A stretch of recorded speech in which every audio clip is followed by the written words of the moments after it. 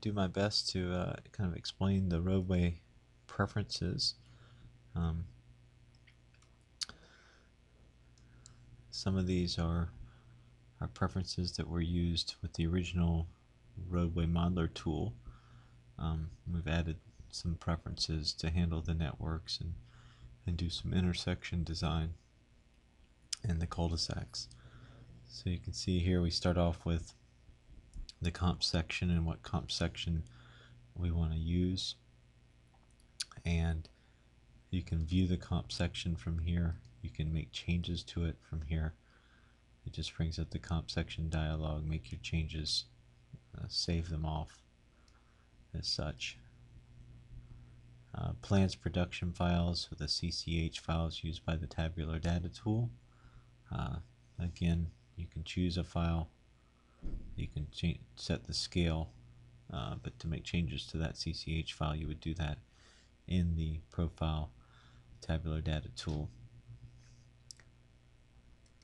Vertical uh, first option here is the surfaces where we want to drape the existing ground on the model. In this case as we're doing a roadway we'll drape the existing ground onto the model surface at that particular time. So as you can see here in a particular profile, it drapes it on the existing ground, and then it uh, that establishes the existing ground profile or existing surface profile and drawn as such. The proposed profile is uh, created and then drawn with that particular feature, in this case the, the purple line, uh, with its particular scale.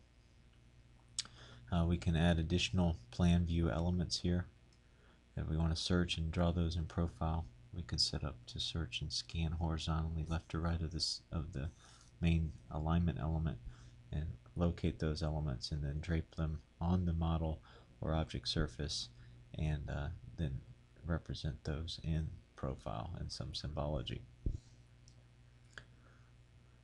As for the vertical design, uh, again we can kind of do a first pass design. As you see here, the purple element is representing our first pass of the design for the for the side street.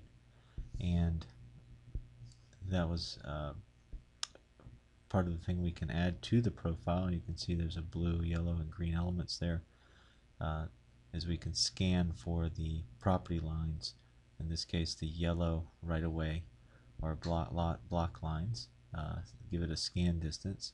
And then the ones we find to the left we'll plot in existing Pro L feature, or again, you can also designate a symbology.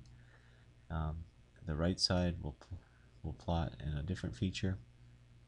Uh, you can vertically offset those if you need to from, from the center line.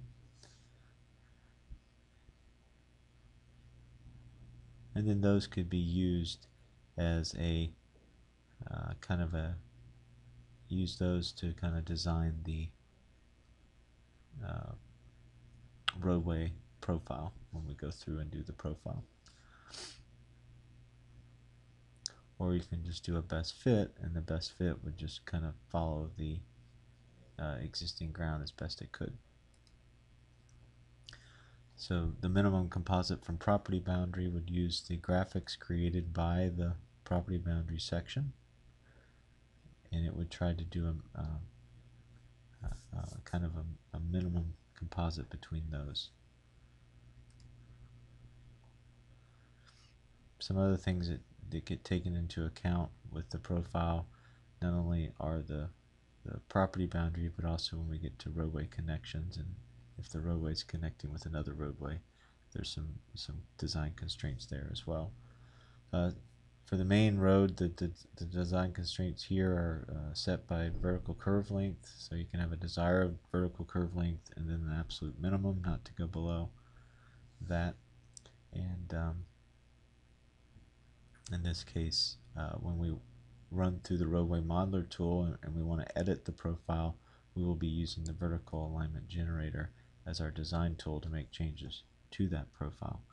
So at that step in the roadway modeler tool, when prompted to edit a profile and, and choosing yes, you will uh, have the vertical alignment generator pop up versus the vertical component tool palette.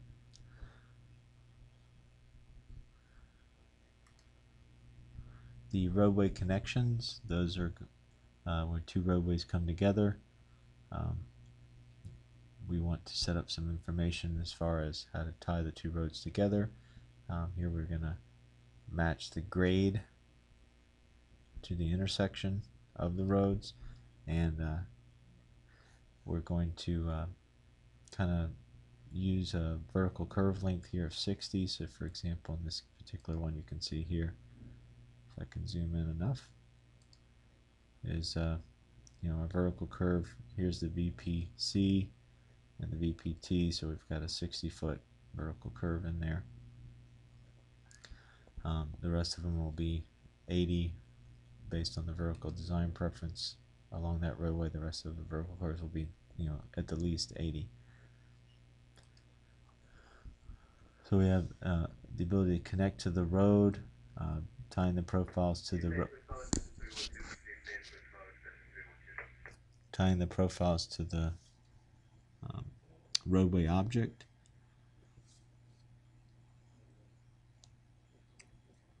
Matching the grade setting the vertical curve length for the road for the little intersection between the roads and a clear distance from the vertical uh, the VPC point which will be uh, in this case five five feet. And then also when doing an intersection include you know setting up a, a pavement seam line in our case this little join line so searching for that element and then including that element in both objects which is typical when doing uh, typical when doing roadway intersections.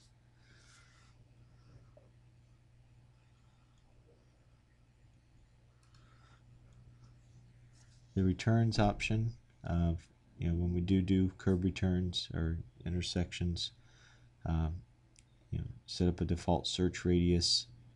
Uh, so again, when you're running the network tool, you just toggle on to create the curb return. So you set the default search radius where the two roads intersect, searching out 47 feet in this case, looking for those arcs um, or the pavement edge arcs. Once you uh, find them and create the site element for them, we're adding those to the secondary object. That would be the side street versus the main line. Um, and one, also adding a comp section to those. And for both the left side and the right side returns.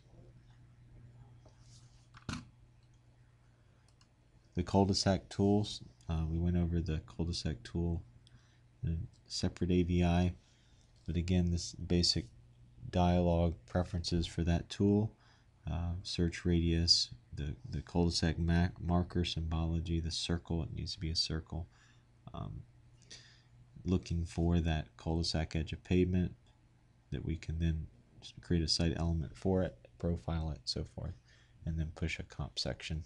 Or also keep in mind a section as well could be pushed.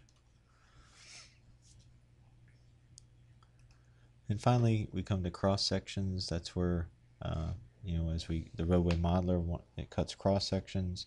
It'll drape the uh, existing graphic. You know, create that by draping onto the existing ground. Uh, the new proposed roadway graphics will be based on the new object, roadway object plus its slope. Um, we could also use a model or object, and you know, so we could use something else as well. They can both be so a separate graphic can be plotted. Um, the location of the of the cross sections um, and where the pattern lines are going to be drawn. So again, you have the increment or even option. Um, place them at critical points. Uh, these are very similar to the draw cross-section dialog, how far left and right, the scale of the cross-sections, and then of course the pattern line symbology. So existing ground will be drawn in a existing ground feature or certain symbology. The roadway object proposed will be drawn in a certain um, symbology and if we decide to draw something other than the roadway object we can set that up as well and, and then the break line text and then a tabular data preference file if so desired can be set up and used as well. All these can be saved off. They're saved off as an SRP, a roadway preference file, site roadway preference file, and recalled again and again. So I can you can open up different ones.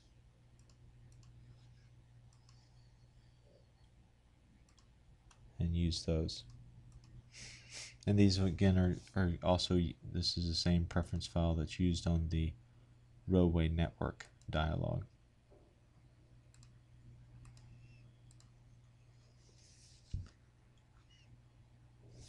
And used for those particular roads that we're creating there.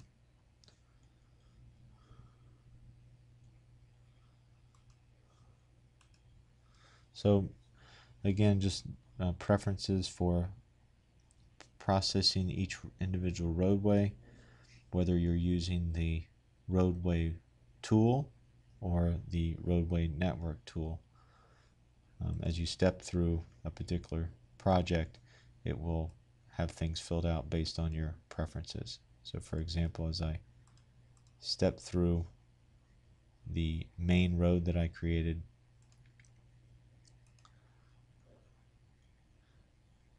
And for example, under vertical design, I've chosen vertical alignment generator. So when I click on the vertical design tools, it will bring up vertical alignment generator. If I were to add additional profile elements, that would be that dialog will be populated from the additional profile elements group box here on the roadway preferences dialog or I can override it at this stage in the actual tool itself. The profile annotation, again coming from the preferences and being passed over to the particular tool that I'm in.